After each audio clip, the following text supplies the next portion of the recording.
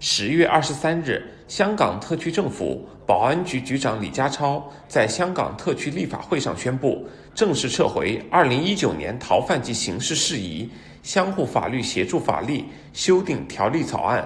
李家超表示，特区政府于二零一九年二月，在咨询立法会保安事务委员会之后，向立法会提交条例草案，建议修改现有的逃犯条例及刑事事宜相互法律协助条例。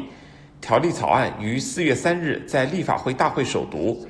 李家超之后在五月二十七日向立法会作出预告，拟于六月十二日举行的立法会会议就条例草案恢复二读辩论。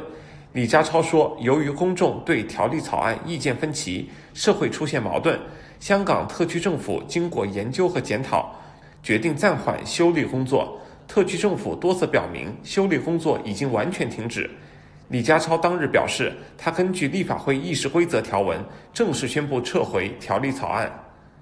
由於公眾對條例草案意見分歧，社會出現矛盾，政府經過研究及檢討，決定暫緩修例工作。就此，我於六月十五日致函立法會主席，收回就條例草案恢復二讀辯論嘅預告。立法會大會就處理條例草案嘅工作，亦因而停止。之後，政府多次表明修例工作已經完全停止。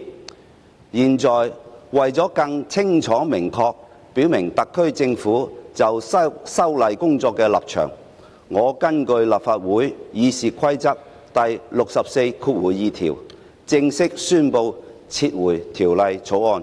謹此陳辭。更多精彩尽在中国新闻网客户端。